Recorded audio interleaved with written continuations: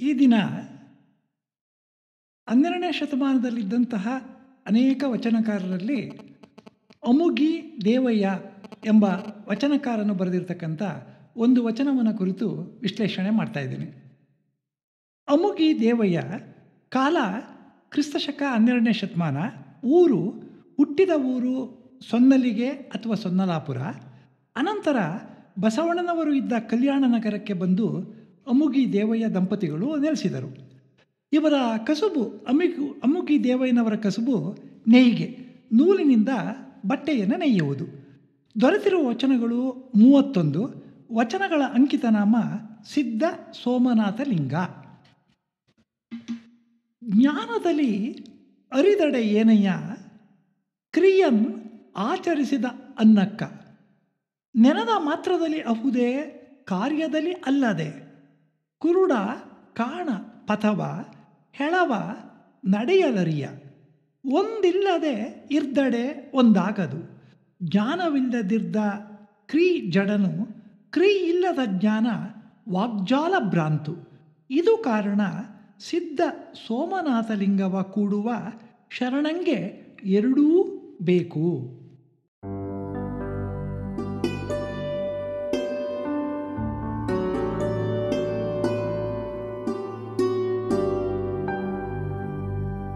ಜ್ಞಾನದಲ್ಲಿ ಅರಿದಡೆ ಏನಯ್ಯ? ಕ್ರಿಯನ್ ಆಚರಿಸದನ್ನಕ್ಕ. ನೆನದ ಮಾತ್ರದಲ್ಲಿ ಅಹುದೇ ಕಾರ್ಯದಲ್ಲದೆ ಕುರುಡ ಕಾಣ ಪಥವ ಹೆಳವ ನಡೆಯಲು ಅರಿಯ. ಒಂದು ಇಲ್ಲದೆ ಇರ್ದಡೆ ಒಂದಾಗದು. ಜ್ಞಾನವಿಲ್ಲದಿದ್ದ ಕ್ರೀ ಜಡನು, ಕ್ರೀ ಇಲ್ಲದ ಜ್ಞಾನ ವಾಗ್ಜಾಲ ಭ್ರಾಂತು ಇದು ಕಾರಣ ಸಿದ್ಧ. ಸೋಮನಾಥಲಿಂಗವ ಕೂಡುವ ಶರಣಂಗೆ ಎರಡೂ ಬೇಕು. ವ್ಯಕ್ತಿಯು ಜೀವನವನ್ನು ಚೆನ್ನಾಗಿ ರೂಪಿಸಿಕೊಂಡು ನೆಮ್ಮದಿಯಿಂದ ಬಾಳಬೇಕಾದರೆ ಒಳ್ಳೆಯ ತಿಳುವಳಿಕೆಯನ್ನು ತನ್ನದಾಗಿಸಿಕೊಳ್ಳುವ ಮತ್ತು ಒಳ್ಳೆಯ ಕಸುಬನ್ನು ಮಾಡುವ ಎರಡು ಗುಣಗಳನ್ನು ಹೊಂದಿರಬೇಕು ಎಂಬುದನ್ನು ಈ ವಚನದಲ್ಲಿ ಹೇಳಲಾಗಿದೆ. ಒಳ್ಳೆಯ ತಿಳುವಳಿಕೆ ಎಂದರೆ ಜೀವನದಲ್ಲಿ ಯಾವುದು ಸರಿ ಯಾವುದು ತಪ್ಪು? ಯಾವುದನ್ನು ಮಾಡಬೇಕು? ಯಾವುದನ್ನು ಮಾಡಬಾರದು? ಯಾವುದು ನೀತಿ? ಯಾವುದು ಅನೀತಿ? ಯಾವುದು ದಿಟ? ಯಾವುದು ಸಟೆ? ಎಂಬುದನ್ನು, ಸಟೆ ಅಂತ ಸುಳ್ಳು. ಎಂಬುದನ್ನು ವಿಂಗಡಿಸಿ ನೋಡಿ ಅರಿತುಕೊಳ್ಳುವುದು. ಒಳ್ಳೆಯ ಕಸುಬು, ಒಳ್ಳೆಯ ಕಾಯಕ, ಒಳ್ಳೆಯ ಕಾರ್ಯ ಎಂದರೆ ವ್ಯಕ್ತಿಯು ತನಗೆ ಒಳ್ಳೆಯದಾಗಲೆಂದು ಮಾಡುವ ಕೆಲಸವು ಸಹಮಾನವರಿಗೆ ಮತ್ತು ಸಮಾಜಕ್ಕೆ ಒಳಿತನ್ನು ಮಾಡುವಂತಿರಬೇಕು. ನೋಡಿ, ಎಲ್ಲ ವಚನಕಾರರು ಒಂದು ಕಡೆ ಶಿವನನ್ನು ಅರಿವು ಮತ್ತು ಎಚ್ಚರದ ಸಾಕ್ಷಿ ಪ್ರಜ್ಞೆಯಾಗಿಟ್ಕೊಂಡು ಸಮಾಜವನ್ನೇ ಪ್ರಶ್ನೆ ಮಾಡ್ತಾರೆ. ಸಮಾಜದ ಅಂಕುಡೊಂಕುಗಳನ್ನು ಕುರಿತು ವಿಮರ್ಶೆ ಮಾಡ್ತಾರೆ. ಕೇಳ್ತಾರೆ, ಅಪ್ಪ, ಜ್ಞಾನದಲ್ಲಿ ಅರಿದಡೆ ಏನಯ್ಯ? ನೋಡಿ ಸಮಾಜದಲ್ಲಿ ಬಹಳ ಜ್ಞಾನಿಗಳಿದ್ದರು ವೇದಗಳು, ಉಪನಿಷತ್ತುಗಳು, ಹದಿನೆಂಟು ಪುರಾಣಗಳು, ರಾಮಾಯಣ, ಮಹಾಭಾರತ ಮುಂತಾದಂಥ ಹಲವಾರು ಜ್ಞಾನ ಗ್ರಂಥಗಳನ್ನು ಓದ್ಕೊಂಡು ಬಹಳ ಅರಿವನ್ನು ಪಡ್ಕೊಂಡಿದ್ರು. ಅವರಿಗೆ ಒಂದು ಪ್ರಶ್ನೆಯನ್ನು ಹಾಕ್ತಾರೆ ಅಮುಗಿ ದೇವಯ್ಯ, ಜ್ಞಾನದಲ್ಲಿ ಜ್ಞಾನ ಅಂದರೆ ಅರಿವು, ತಿಳುವಳಿಕೆ. ಅರಿದಡೆ, ಓದು ಬರಹದಿಂದ ಪಡೆದ ಜ್ಞಾನವನ್ನು ಅರಿದಡೆ ತಿಳ್ಕೊಂಡ್ರೆ ಏನಯ್ಯ? ಏನು ಬತ್ತು ಪ್ರಯೋಜನ? ಕ್ರಿಯನ್ ಆಚರಿಸದ ಅನ್ನಕ್ಕ. ನೀನು ಪಡೆದಿರುವಂಥ ತಿಳುವಳಿಕೆ ಅರಿವು ಅದು ಕ್ರಿಯೆಯಲ್ಲಿ ಕಂಡುಬರಬೇಕು. ಕ್ರಿಯೆ ಅಂದರೆ ನೀನು ಮಾಡುವ ಕೆಲಸದಲ್ಲಿ ಕಂಡುಬರಬೇಕು. ಕ್ರಿಯನ್ ಆಚರಿಸದ, ಮಾಡದ ಅನ್ನಕ್ಕ. ಅನ್ನಕ್ಕ ಅಂದರೆ ಹೊರಗೆ ಅಂತ. ಹಾಗಾದರೆ ನೀನು ಪಡೆದ ಅರಿವು ಸತ್ಕಾರ್ಯದ ಮೂಲಕ ಅದು ಸಮಾಜಕ್ಕೆ ಉಪಯೋಗವಾಗಬೇಕು. ನೋಡಿ, ಅದಕ್ಕೆ ವ್ಯಕ್ತಿಯು ತಾನು ಕಲಿತ ವಿದ್ಯೆಯಿಂದ, ಪಡೆದ ತಿಳುವಳಿಕೆಯಿಂದ ತನಗೆ ಒಳಿತನ್ನು ಬಯಸುವಂತೆಯೇ ಸಹಮಾನವರಿಗೆ ಮತ್ತು ಸಮಾಜಕ್ಕೆ ಒಳಿತನ್ನು, ಏಳಿಗೆಯನ್ನು, ನೆಮ್ಮದಿಯನ್ನು, ಆನಂದವನ್ನು ಉಂಟು ಮಾಡುವ ಕೆಲಸದಲ್ಲಿ ತನ್ನನ್ನು ತೊಡಗಿಸಿಕೊಳ್ಳಬೇಕು. ಒಳ್ಳೆಯ ರೀತಿಯಲ್ಲಿ ದುಡಿಮೆಯನ್ನು ಮಾಡದೆ ಕೇವಲ ಅಕ್ಕರದ ವಿದ್ಯೆಯನ್ನು ಕಲಿಯುವುದರಿಂದ ಕೇವಲ ಅರಿವನ್ನು ಪಡೆದುಕೊಳ್ಳುವುದರಿಂದ ಯಾವ ಪ್ರಯೋಜನವೂ ಇಲ್ಲ. ಹಾಗಾದ್ರೆ ನೋಡಿ, ಎಲ್ಲ ಕಾಲದಲ್ಲೂ ನಾನು, ನೀವು ನೋಡ್ತಾ ಇರ್ತಕ್ಕಂಥ, ಬಾಳ್ತಾ ಇರ್ತಕ್ಕಂಥ ಸಮಾಜದಲ್ಲೂ ಕೂಡ ಅರಿವನ್ನು ಪಡೆದವರು ಬೇಕಾಷ್ಟನ ಇದ್ದಾರೆ. ಆದರೆ ಸಮಾಜ ಮಾತ್ರ ಎಂದಿನಂತೆ ನೋವಿನಿಂದ ನರಳಿಸಲೇ ಇದೆ. ಅದಕ್ಕೆ ಪ್ರಶ್ನೆ ಕೇಳ್ತಾರೆ, ಜ್ಞಾನದಲ್ಲಿ ಅರಿದಡೆ ಏನಯ್ಯ? ಕ್ರಿಯನ್ ಆಚರಿಸದನ್ನಕ್ಕ ಮುಂದಕ್ಕೊಂದು ಮಾತು ಹೇಳ್ತಾರೆ ನೋಡಿ. ನೆನದ ಮಾತ್ರದಲ್ಲಿ ಅವುದೇ ಕಾರ್ಯದಲ್ಲಿ ಅಲ್ಲದೆ ನೆನದ ಮಾತ್ರದಲ್ಲಿ. ಓಹ್ ನಮ್ಮ ಸಮಾಜ ಸುಂದರವಾಗಿರಬೇಕು, ಇಡೀ ಮಾನವ ಸಮುಜ, ಸಮುದಾಯವೆಲ್ಲವೂ ಕೂಡ ಆನಂದವಾಗಿರಬೇಕು, ನೆಮ್ಮದಿಯಿಂದಿರಬೇಕು ಅಂತ ಕೇವಲ ನೆನಕೊಂಡ್ರೆ, ಬರೀ ಮಾತಿನಲ್ಲಿ ಹೇಳ್ಕೊಂಡ್ರೆ ಅಹುದೇ ಕಾರ್ಯದಲ್ಲಿ ಅಲ್ಲದೆ ಕ್ರಿಯಾರೂಪದಲ್ಲಿ ಅದು ಇರಬೇಕು. ಅಂದರೆ ಈಗ ಒಬ್ಬ ರೈತ ತನ್ನ ಹೊಲ ಗದ್ದೆಯ ಮುಂದೆ ನಿಂತ್ಕೊಂಡ್ಬಿಟ್ಟು ಓಹ್, ಇಲ್ಲಿ ಉತ್ತಮ ಬೆಳೆ ಆಗಬೇಕು ಅಂತ ನೆನೆಸ್ಕೊಂಡ ಕ್ಷಣಕ್ಕೆ ಉತ್ತಮ ಬೆಳೆ ಆಗೋದಿಲ್ಲ. ಅವನು ಹಗಲು ರಾತ್ರಿ ದುಡಿದ್ರೆ ಅಲ್ಲಿ ಬೆಳೆ ಆಗುತ್ತೆ ಅದೇ ರೀತಿ ಯಾವುದೇ ಒಬ್ಬ ವ್ಯಕ್ತಿ ಮನಸ್ಸನ್ನ ನೆನ್ಕೊಂಡ ಆ ಕ್ಷಣಕ್ಕೆ ಅವನ ಕಾರ್ಯಗಳೆಲ್ಲ ಈಡೇರುವುದಿಲ್ಲ. ನೆನದ ಮಾತ್ರದಲ್ಲಿ ಅಹುದೇ, ಕಾರ್ಯದಲ್ಲಿ ಅಲ್ಲದೆ ವ್ಯಕ್ತಿಯು ತನ್ನ ಮನದಲ್ಲಿ ಕಲ್ಪಿಸಿಕೊಂಡ ಕಾರಣದಿಂದಲೇ ಜೀವನದಲ್ಲಿ ಬಯಸಿದ್ದೆಲ್ಲವೂ ಕೈಗೂಡುವುದಿಲ್ಲ. ಮನದಲ್ಲಿ ಮೂಡಿದ ಆಸೆಯು ಈಡೇರಬೇಕಾದರೆ ಅದಕ್ಕೆ ತಕ್ಕಂತೆ ಒಳ್ಳೆಯ ಕೆಲಸದಲ್ಲಿ ವ್ಯಕ್ತಿಯು ತನ್ನನ್ನು ತೊಡಗಿಸಿಕೊಂಡು ಬಯಸಿದ್ದನ್ನು ಪಡೆಯುವ ತನಕ ಎಡೆಬಿಡದೆ ಪ್ರಾಮಾಣಿಕವಾಗಿ ದುಡಿಯಬೇಕು. ಆಗ ಮಾತ್ರ ಅವನಿಗೆ ತಾನು ಬಯಸಿದ್ದು ಲಭ್ಯವಾಗುತ್ತೆ. ನೋಡಿ, ಅರಿವು ಮತ್ತು ಅದಕ್ಕೆ ಅನುಗುಣವಾದ ಕ್ರಿಯೆ ಎರಡೂ ಜೊತೆಗೂಡಿ ನಡೆಯಬೇಕು ಅನ್ನೋದಕ್ಕೆ ಒಂದು ಸುಂದರವಾಗಿರ್ತಕ್ಕಂಥ ಅತ್ಯಂತ ಶ್ರೇಷ್ಠವಾದ ಒಂದು ದೃಷ್ಟಾಂತವನ್ನು, ಒಂದು ಘಟನೆಯನ್ನು ಇಲ್ಲಿ ಹೇಳ್ತಾರೆ. ಕುರುಡ, ಕಾಣ, ಪಥವ, ಹೆಳವ ನಡೆಯಲರಿಯ ಒಂದು ಇಲ್ಲದಿದ್ದಡೆ ಒಂದಾಗದು. ಒಂದು ದೃಷ್ಟಾಂತವನ್ನು ನಮ್ಮ ಕಣ್ಣು ಮುಂದೆ ತಂದಿಡ್ತಾರೆ.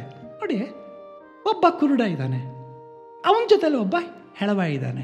ಹೆಳವ ಅಂತ ಅಂದರೆ ಕಾಲು ನಡೆಯುವುದಕ್ಕೆ ಶಕ್ತಿ ಇಲ್ಲದವನು, ಕಾಲು ಐಬಾಗಿರ್ತಕ್ಕಂಥವನು ಕುಂಟ ಅಂತ. ಕುರುಡ, ಕಾಣ ಪಥವ ಪಥ ಅಂದರೆ ಮಾರ್ಗ, ದಾರಿ. ಮುಂದೆ ತಾನು ಪಯಣಿಸಬೇಕಾದ ದಾರಿಯನ್ನು ಕುರುಡ ಕಾಣೋಕ್ಕಾಗೋದಿಲ್ಲ ಯಾಕೆಂದರೆ ಪಾಪ ಅವನಿಗೆ ಕಣ್ಣುಗಳಿಲ್ಲ.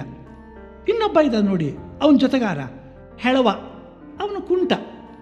ಹೆಳವ ನಡೆಯಲ್ ಅರಿಯ. ಇವನಿಗೆ ನಡೆಯುವುದಕ್ಕೆ ಅರಿಯ ಅಂದರೆ ಆಗ್ತಾ ಇಲ್ಲ. ಅಲ್ಲಿಗೆ ಒಬ್ಬ ವ್ಯಕ್ತಿ ಕಣ್ಣು ಕಾಣದವನು, ಮತ್ತೊಬ್ಬ ಕಾಲಿನಲ್ಲಿ ಶಕ್ತಿ ಇಲ್ಲದಂಥ ಕುಂಟ. ಆದರೆ ಇವರಿಬ್ಬರು ಜೊತೆಗೂಡಿದ್ರೆ ಅವರು ಸಾಗಿ ಹೋಗಬೇಕಾದ ನೆಲೆಯತ್ತ ಹೋಗ್ಬೋದು. ಒಂದು ಇಲ್ಲದೆ ಇರ್ದಡೆ, ಒಂದು ಇಲ್ಲದೆ ಇರ್ದಡೆ.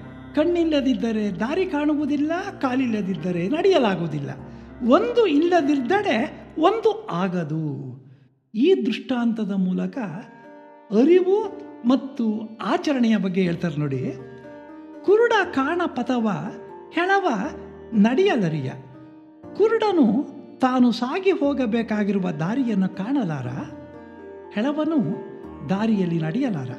ಆದುದರಿಂದ ಕುರುಡನ ಹೆಗಲ ಮೇಲೆ ಹೆಳವನು ಕುಳಿತುಕೊಂಡು ಸಾಗಬೇಕಾದ ಹಾದಿಯ ಜಾಡಿಯನ್ನು, ಸಾಗಬೇಕಾದ ಹಾದಿಯ ಜಾಡನ್ನು ಕುರುಡನಿಗೆ ಹೇಳುತ್ತಾ, ಇಬ್ಬರು ಒಬ್ಬರಿಗೊಬ್ಬರು ನೆರವಾದಾಗ ಮಾತ್ರ ತಲುಪಬೇಕಾದ ಜಾಗವನ್ನು ಇಬ್ಬರೂ ಮುಟ್ಟಲು ಆಗುತ್ತದೆ ಕುರುಡ ಮತ್ತು ಹೆಳವನು ಜೊತೆಗೂಡಿ ಸಾಗಬೇಕಾದ ಈ ಪ್ರಸಂಗವನ್ನು ವಚನಕಾರನು ಅರಿವು ಮತ್ತು ಕ್ರಿಯೆ ಜೊತೆಗೂಡಿದಾಗ ಮಾತ್ರ ವ್ಯಕ್ತಿಯು ಜೀವನದಲ್ಲಿ ಮುನ್ನಡೆಯಲು ಆಗುತ್ತದೆ ಎಂಬುದನ್ನು ನಿರೂಪಿಸಲು ಒಂದು ರೂಪಕವನ್ನಾಗಿ ಬಳಸಿಕೊಂಡಿದ್ದಾನೆ.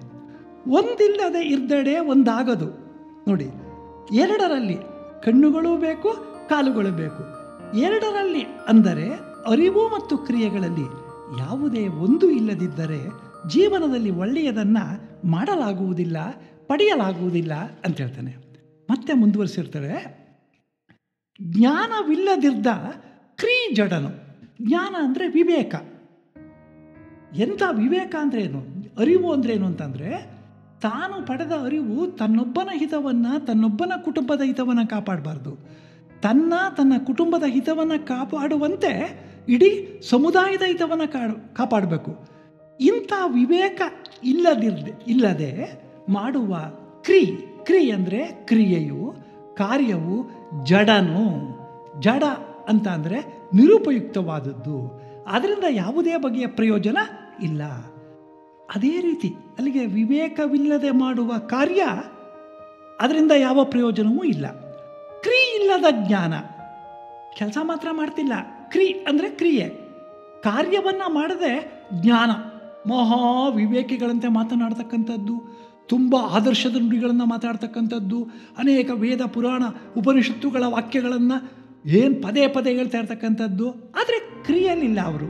ಯಾವುದೇ ಮಾನವ ಸಮುದಾಯಕ್ಕೆ ಉಪಯುಕ್ತವಾದ ಕಾರ್ಯವನ್ನು ಮಾಡ್ತಿಲ್ಲ. ಬರೀ ಉಪದೇಶ, ಬರೀ ಮಾತು. ಕ್ರಿಯಿಲ್ಲದ ಜ್ಞಾನ ಎಷ್ಟು ಒಳ್ಳೆ ಪದ ಉಪಯೋಗಿಸ್ತಾನೆ? ವಾಕ್ ಜಾಲ ಭ್ರಾಂತು. ವಾಗ್ಜಾಲ ವಾಕ್ ಅಂದರೆ ಮಾತು, ಜಾಲ ಅಂದರೆ ಬಲೆ. ವಾಗ್ಜಾಲ ಮಾತಿನ ಬಲೆ. ಯಾರಿಗೆ? ಯಾರನ್ನು ಮರುಳು ಮಾಡ್ತಾ ಇರ್ತಕ್ಕಂಥದ್ದು? ಕೇಳುವ ಜನಸಮುದಾಯವನ್ನು ಮರುಳು ಮಾಡುವಂಥದ್ದು. ವಾಗ್ಜಾಲ ಭ್ರಾಂತು. ಭ್ರಾಂತು ಅಂತಂದರೆ ಭ್ರಮೆ ಅಂತ.